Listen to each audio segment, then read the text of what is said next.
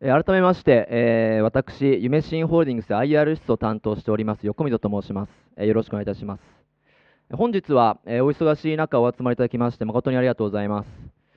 えー本日ご説明させていただきます、えー2014年9月期というのは、えー当社が発表いたしました5年間の中期経営計画のうちの、え2年目にあたる年でございまして、え2013年度と同様にですね、え地盤を固めていく年というふうに位置づけておりました。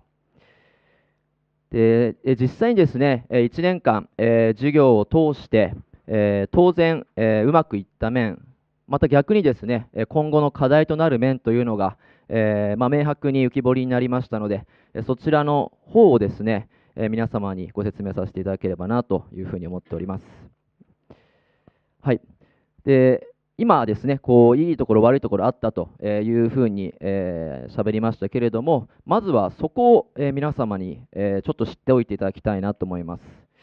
えー2010年度のインフォメーションといたしまして、えーポジティブだった面とネガティブだった面、え2つございます。えーポジティブだった面はですね、1つ目、えー採用えー1600人という、まあ、計画で1年間やってきましたけれども、これがなんとか達成できましたと。そして2つ目、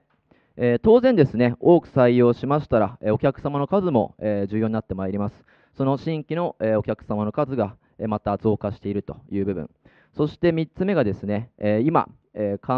とてもですね、まあ、需要が非常に高いこの建築派遣の分野で、え派遣単価が上昇していると。この3つがポジティブな面でございます。そして逆にですね、えネガティブな面、えがですね、こちらにま載っております通り、え想定を下回る定着率。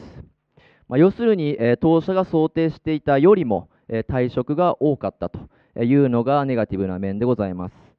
まあこちらがですね、えーまあ、現在の今の当社の株価にも、まあ、ここの部分の、えー少しこう、まあ、不安感といいますか、えーそこがまあ数字に表れているのかなというふうに当社では認識しております。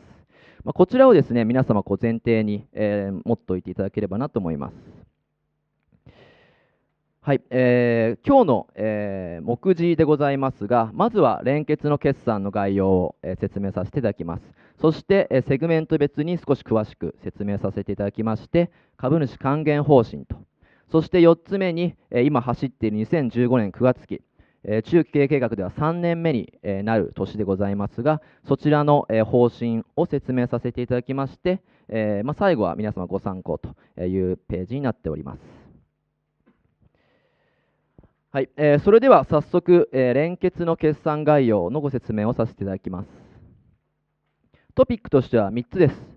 え1つ目は、えー売上高で32%の増収。